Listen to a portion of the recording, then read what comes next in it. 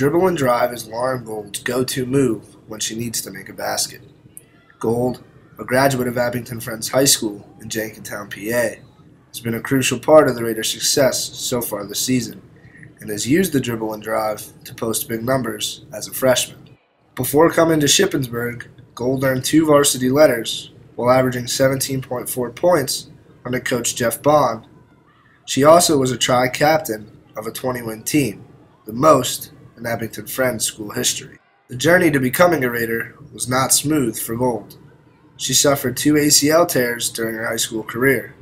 Despite the long rehab process, she never gave up the game she loved. I didn't know what to expect. I thought I was going to be done basketball, and I thought it was going to be like a hard recovery. The first time was hard, but then like the second time, I did a year later, and it was easier because I knew what I had to do to get back. Gold decided on Shippensburg and says the transition from high school to college basketball was smooth sailing, thanks to a welcoming Raider squad.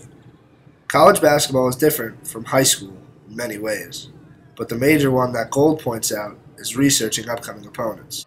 We didn't watch film or anything like that, and it was like a big change coming into college because like college we watched we would go over the plays of teams and everything mm-hmm. and like scout for like, a, like an hour of practice. The freshman guard has been a huge part of SU's success so far this year.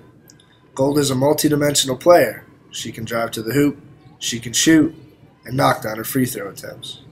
All three of these aspects have aided her in earning a starting role on this year's squad. The four-time PSAC Eastern Freshman of the Week is averaging 13.2 points in 23 games played so far this season.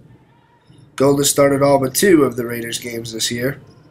The Abington Friends grad is near perfect from the charity stripe, posting a .909 free throw percentage, notching her sixth in all of Division II.